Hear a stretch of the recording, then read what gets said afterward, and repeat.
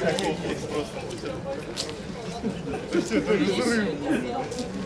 сфоткайте, Оксана. Еще, еще больше блюдо, какой мужик там с собой Самый.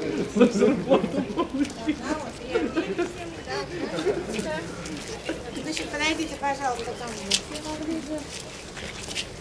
Дело в том, что там экскурсионный отдел начинает работать с 9 часов, а нам времени с вами, у вас такая плотная программа. Дать нет.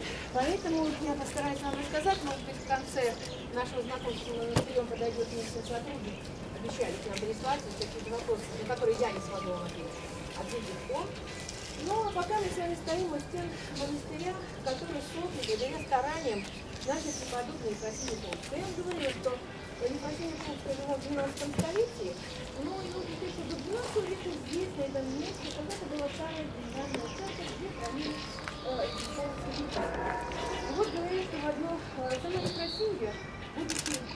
при рождении, она не была Ефросиньей, ее назвали красивым именем тогда, по славянским предславам.